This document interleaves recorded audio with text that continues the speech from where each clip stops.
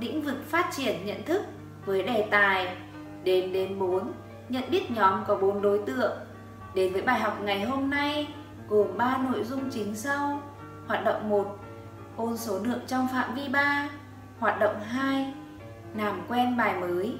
Đếm đến 4 nhận biết nhóm có 4 đối tượng. Hoạt động 3 trò chơi củng cố. Trước khi vào tiết học ngày hôm nay, cô và các con cùng ôn số lượng trong phạm vi 3 nhé. Nào, cô xin mời tất cả các con. Cô mời các con đến với trò chơi Ai thông minh nhất? Trên màn hình, cô có những bông hoa gì đây? À, đúng rồi, đó là những bông hoa hồng. Các con hãy đếm xem có bao nhiêu bông hoa hồng. Các con hãy đếm cùng cô nào. Một, hai, ba. Tất cả có ba bông hoa hồng. Để biểu thị cho số lượng ba bông hoa hồng, các con dùng thẻ mấy chấm tròn. À, đúng rồi, để biểu thị cho số lượng ba bông hoa hồng, các con dùng thẻ ba chấm tròn nhé. Xin chúc mừng các con. Cô có những bông hoa gì đây? Đây là những bông hoa hướng dương đấy. Các con hãy đếm xem có bao nhiêu bông hoa hướng dương. Các con đếm cùng cô nào. Một, hai. Tất cả có hai bông hoa hướng dương. Để biểu thị cho số lượng hai bông hoa hướng dương, các con dùng thẻ mấy chấm tròn. Đúng rồi, để biểu thị cho số lượng hai bông hoa hướng dương, các con dùng thẻ hai chấm tròn nhé. Cô lại có những bông hoa gì đây? Đúng rồi đấy, đây là những bông hoa cúc đấy các con ạ. À. Các con hãy đếm xem có bao nhiêu bông hoa cúc. Một, hai, ba. Tất cả có ba bông hoa cúc. Để biểu thị cho số lượng ba bông hoa cúc, các con dùng thẻ mấy chấm tròn. À, đúng rồi, để biểu thị cho số lượng ba bông hoa cúc, các con dùng thẻ ba chấm tròn nhé. Xin chúc mừng các con. Vừa rồi, cô con mình vừa ôn số lượng trong phạm vi 3 đấy. Và bây giờ, cô con mình cùng bước vào bài học mới, đếm đến 4, nhận biết nhóm có 4 đối tượng. Bây giờ các con hãy quan sát lên màn hình xem cô hướng dẫn bài học ngày hôm nay nhé. Cô xếp những bông hoa thành hàng ngang, lần lượt từ trái qua phải. Sau đó, cô lấy ba chiếc chậu, mỗi chiếc chậu cô xếp tương ứng với một bông hoa. Các con đếm cùng cô xem có mấy chiếc chậu nào? Một, hai, ba. Tất cả có ba chiếc chậu.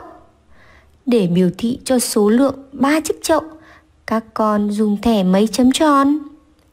À, để biểu thị cho số lượng ba chiếc chậu, các con dùng thẻ ba chấm tròn. Bây giờ các con nhìn xem số chiếc chậu và số bông hoa như thế nào. Đúng rồi, số chiếc chậu và số bông hoa không bằng nhau vì dưới một bông hoa không có chiếc chậu nào. Như vậy, số chiếc chậu ít hơn số bông hoa các con ạ. Số chiếc chậu ít hơn số bông hoa là mấy?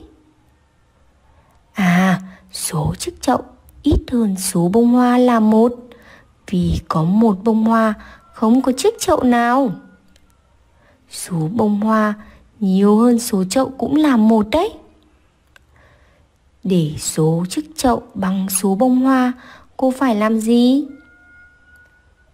Đúng rồi, cô thêm một chiếc chậu Ừ. dưới bông hoa còn thiếu nhé. Sau khi thêm một chiếc chậu vào dưới bông hoa còn thiếu thì lúc này số chậu và số bông hoa như thế nào? Đúng rồi, lúc này số chiếc chậu và số bông hoa bằng nhau rồi đấy. Và để biết bằng mấy, các con hãy đếm cùng cô nào. Các con đếm số chậu cùng cô nào. Một, hai, 3, 4, tất cả có 4 chiếc chậu. Như vậy, 3 chiếc chậu thêm một chiếc chậu bằng 4 chiếc chậu. Các con đếm thật to, thêm lần nữa nhé.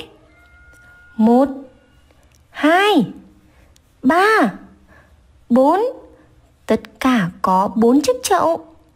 Các con rất giỏi. Để biểu thị cho số lượng 4 chiếc chậu, các con dùng thẻ mấy chấm tròn. Đúng rồi, để biểu thị cho số lượng 4 chiếc chậu, các con dùng thẻ 4 chấm tròn. Các con cùng đếm số bông hoa nào. 1 2 3 4 Tất cả có 4 bông hoa. Để biểu thị số lượng 4 bông hoa, các con dùng thẻ mấy chấm tròn. À, để biểu thị cho số lượng 4 bông hoa, các con dùng thẻ 4 chấm tròn nhé.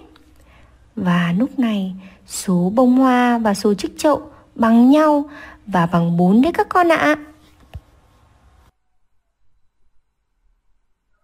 Trên màn hình cô có thẻ mấy chấm tròn? Nào, các con cùng đếm với cô. Một, hai, ba, bốn. Tất cả có bốn chấm tròn. Đây là thẻ bốn chấm tròn, biểu thị cho số lượng 4 đấy các con ạ. À. Các con hãy đếm lại cùng cô số chiếc chậu nào. một, hai, ba, bốn Tất cả có bốn chiếc chậu.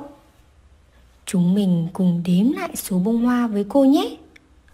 một hai ba bốn Tất cả có bốn bông hoa. Số chiếc chậu và số bông hoa bằng nhau và bằng bốn đấy các con ạ. Bây giờ cô cất một chiếc chậu đi thì cô còn mấy chiếc chậu? Đúng rồi, cô còn ba chiếc chậu. Cô sẽ dùng thẻ mấy chấm tròn nhỉ? À, để biểu thị cho số lượng ba chiếc chậu, cô sẽ dùng thẻ ba chấm tròn. Cô lại cất tiếp hai chiếc chậu. Vậy cô còn mấy chiếc chậu?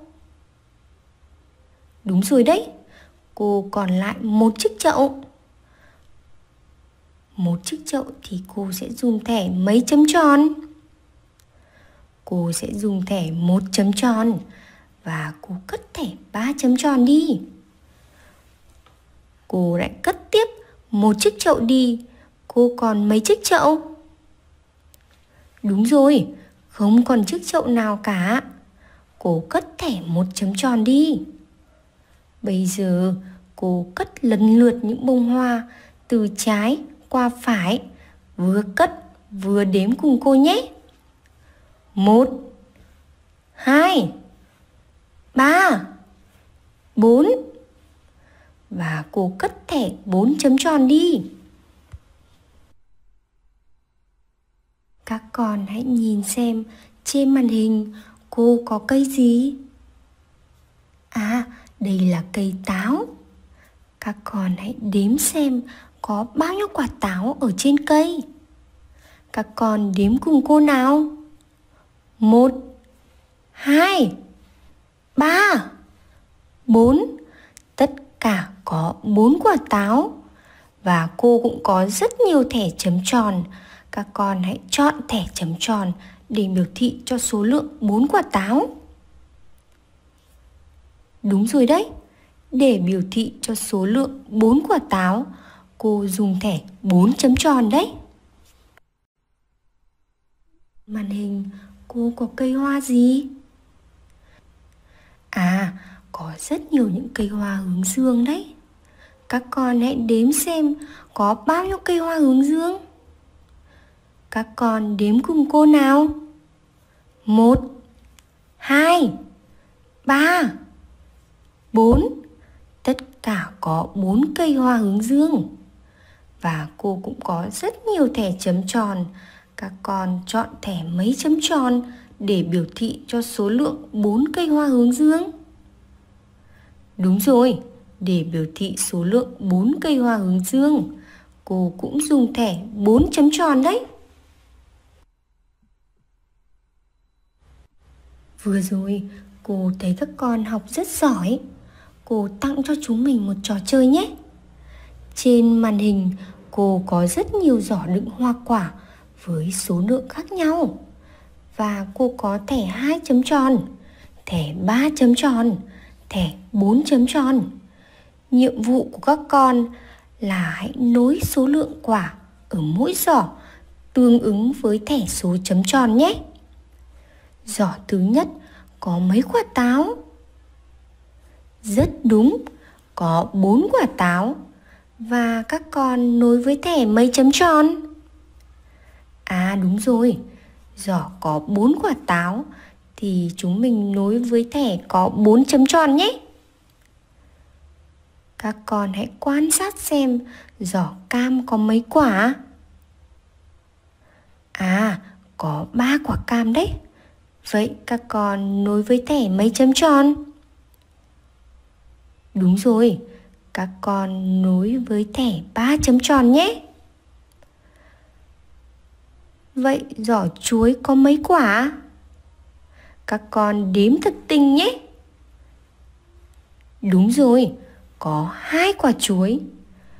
Vậy chúng mình nối với thẻ mấy chấm tròn? À, chúng mình sẽ nối với thẻ hai chấm tròn. Và cuối cùng là giỏ na có mấy quả?